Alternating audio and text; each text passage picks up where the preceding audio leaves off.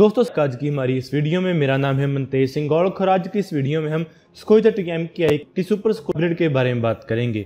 इस अपग्रेड में Sukhoi thirty M K aircraft को ultra advanced 4.5 generation multi role aircraft में कन्वर्ट कर दिया जाएगा। इससे हमारे स्कोई थर्टी एम के आई फ्लीट को इतना अपग्रेड कर दिया जाएगा कि ये इतना पावरफुल हो जाए कि ये चाइना के स्कोई थर्टी फाइव एयरक्राफ्ट के मुकाबले का बन जाए और चाइना के फिफ्थ जनरेशन एयरक्राफ्ट को भी टक्कर दे पाए। इस नई अपग्रेड में इसमें बहुत सारी नई टेक्नोलॉजीज़ लगाई जाएँगी।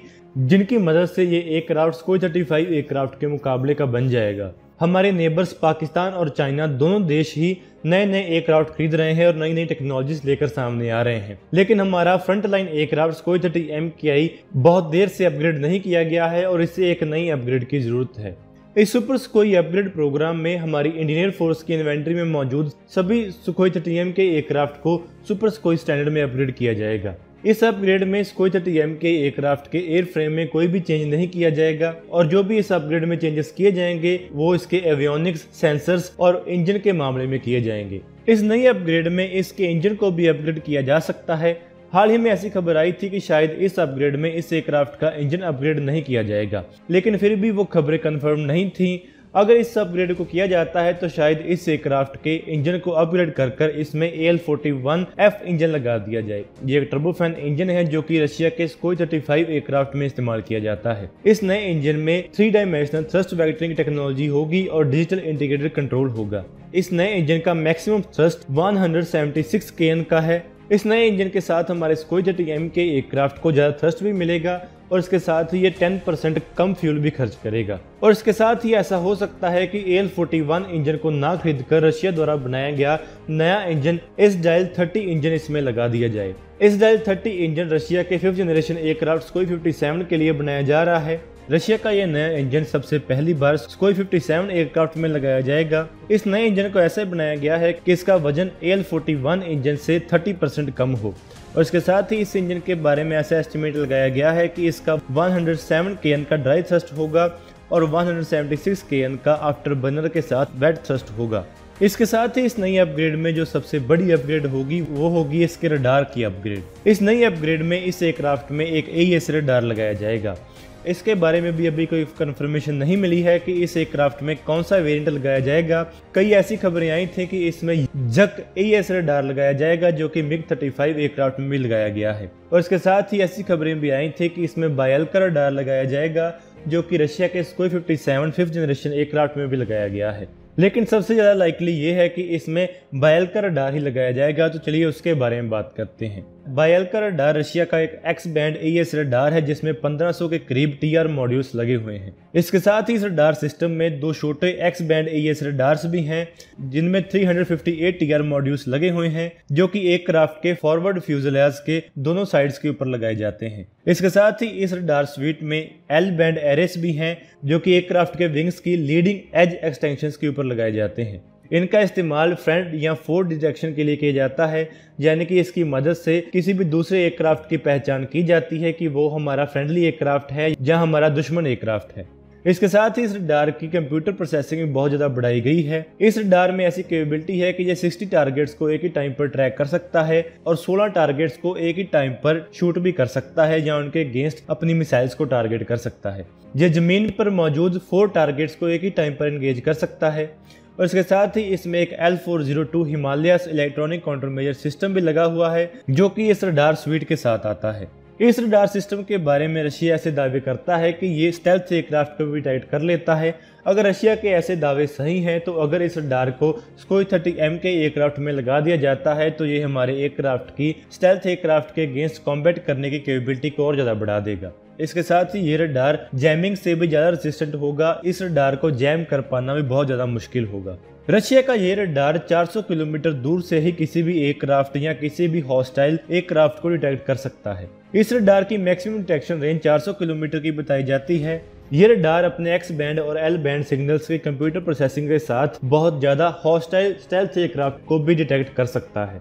और इसके साथ ही इस एयरक्राफ्ट में 101 V infrared search and track system भी लगाया जाएगा, जिससे कि स्टेल्थ एयरक्राफ्ट को डिटेक्ट करने के लिए भी इस्तेमाल किया जा सकता है। यह किसी दूसरे एयरक्राफ्ट से निकलने वाली हीट इमीजन को डिटेक्ट कर लेता है और उस एयरक्राफ्ट को डिटेक्ट करने में मदद करता है। इसके साथ ही सुपर स्कोई अपग्रेड में इस एयरक्राफ्ट में डीआरडीओ और डीएआरई द्वारा बनाया गया एक dual colour missile approaching warning system लगाया जाएगा। ये एक ऐसा सिस्टम है जो कि ऑडियो और वीडियो सिस्टम की मदद से इस एयरक्राफ्ट की तरफ़ आने वाली मिसाइल को लेकर पायलट को वार्निंग दे देगा। ये एक ड्यूल कलर प्रिंसिपल का इस्तेमाल करता है, जिसकी मदद से फॉल्स अलार्म का रेट बहुत कम हो जाता है। जाने की जाने की इस सिस्टम के साथ एयरक्राफ्ट के पायलट को गलत जानकारी बहुत कम मिलेगी। और इसके साथ ही इस नई अपग्रेड में, इस एयरक्राफ्ट में ध्रुति रडार वार्निंग रिसीवर भी लगेगा, जो कि रेडियो सिग्नल्स को डिटेक्ट कर सकता है और इसके साथ ही पायलट को इसके मुताबिक ऑडियो वार्निंग भी दे सकता है। अगर इस एयरक्राफ्ट के एवियोनिक्स के बारे में बात करें तो सुपर स्कोई अपग्रेड प्रोग्राम में इस एयरक्राफ्ट में बहुत तरह के नए एवियोनिक्स लगाए जाएँगे, जिसमें एडवांस मिशन कंप्यूटर भी शामिल है, जो कि navigation display and weapon release computers को भी इंटीग्रेट करता है। और इसके साथ ही इस एयरक्राफ्ट में डी द्वारा बनाया गया एक हाई बैंड जैमर भी लगाया जाएगा, जो कि इस एयरक्राफ्ट में पहले लगाए जाने वाले जैमर पॉड्स को रिप्लेस करेगा। सुपर स्कोई अपग्रेड में इस एयरक्राफ्ट के कॉकपिट में सैमटल और एचएल द्वारा बनाई जाने वाली डिस्प्ले सिस्टम लगाए जाएँगे, जो कि पैनारोमिक कॉकपिट डिस्प्लेस का इस्तेमाल करता है। और इसके साथ ही अभी तक ये कंफर्म नहीं है, लेकिन एक सोर्स से ये भी पता चला है कि इस एयरक्राफ्ट के एयर फ्रेम को भी इम्प्रूव किया जाएगा, जिसके कारण इस एयरक्राफ्ट के फ्लाइंग आवर्स 6000 घंटे हो जाएँगे, जिसकी मदद से इस एयरक्राफ्ट की लाइफ भी कोई थर्टी फाइव एयरक्राफ्ट जितनी ही हो जाएगी। और इसके साथ ही इसके फ्लाई बाय वायर कंप्यूटर को भी इम्प्रूव किया जाएगा। इसमें लगाया जाने वाला fly by wire system quadruple redundancy वाला होगा। यहाँ पर आपको बता दें कि ये फीचर भी एक एयरक्राफ्ट के लिए बहुत खास होता है। जब किसी एयरक्राफ्ट में ट्रेडिशनल मैकेनिकल या हाइड्रोलिक कंट्रोल सिस्टम फेल होते हैं, तब वो धीरे धीरे होते हैं। लेकिन अगर एयरक्राफ्ट के फ़्लाइट कंट्रोल कंप्यूटर खराब हो जाएँ तो एयरक्राफ्ट एकदम से अनकंट्रोलेबल हो जाएगा। इसीलिए एयरक्राफ्ट के फ्लाई बाय वायर सिस्टम में बहुत तरह के रिडेंडेंट कंप्यूटर्स भी लगाए जाते हैं, जो कि ट्रिप्लेक्स या क्वाड्रप्लेक्स हो सकते हैं, जो कि एयरक्राफ्ट के लिए मैकेनिकल या हाइड्रोलिक बैकअप प्रोवाइड करते हैं। जो एयरक्राफ्ट क्वाड्रपल रिडेंडेंसी फीचर करेगा, उसमें फेलियर के टाइम पर लॉस इतनी जल्दी नहीं होगी। और इसके साथ ही इस नई अपग्रेड में इस एयरक्राफ्ट के साथ ब्रह्मोस ए मिसाइल भी लगा दी जाएगी, जो कि ब्रह्मोस मिसाइल का एक एयर वेरिएंट है। और इसके साथ ही इस एयरक्राफ्ट के वेपन पैकेज को भी अपग्रेड किया जाएगा फ्यूचर में इस एयरक्राफ्ट में S F D R missiles भी लगा दी जाएँगी और अस्त्रा मार्क टू मिसाइल्स भी लगा दी जाएँगी, जिनकी रेंज भी बहुत ज़्यादा होगी और S F D R missile meteor missile के साथ कंपेरेबल भी होगी। इससे पहले इंडियन एयरफोर्स को ये उम्मीद थी कि उन्हें मीटियोर मिसाइल मिल जाए और वो इस मिसाइल को Sukhoi thirty M K aircraft के साथ इंटीग्रेट कर सकें। लेकिन एम बी डी ए जो कि इस मिसाइल को बनाती है, उन्होंने इस मिसाइल को इस एयरक्राफ्ट के साथ इंटीग्रेट करने से मना कर दिया है। यही कारण है कि इंडियन एयरफोर्स को अब इस मिसाइल का एक अल्टरनेटिव भी ढूंढना पड़ रहा है, जो कि S F D R missile के रूप में आ सकता है। इसके साथ ही इस एयरक्राफ्ट में ए एस रैम मिसाइल को भी इंटीग्रेट कर दिया जाएगा। ए एस रैम मिसाइल एक within visual range missile है, जिसे कि दुनिया की सबसे ज़्यादा advance within visual range missile के तौर पर माना जाता है। इस मिसाइल को इंडियन एयरफोर्स अपनी पूरी फ्लीट में अडॉप्ट कर रही है। इन सभी नए फीचर्स के साथ सुपर स्कोई एयरक्राफ्ट चाइना के स्कोई 35 एयरक्राफ्ट के साथ कंपेरेबल हो जाएगा और कुछ मामलों में उससे सुपीरियर भी हो जाएगा। तो दोस्तों, आज की इस वीडियो में इतना ही। अगर आपको ये वीडियो अच्छी लगे तो आप इसको ज़रूर लाइक और शेयर करें। Thanks for watching this video जय हिंद, वंदे मातरम। जय हिंद, वंदे मातरम।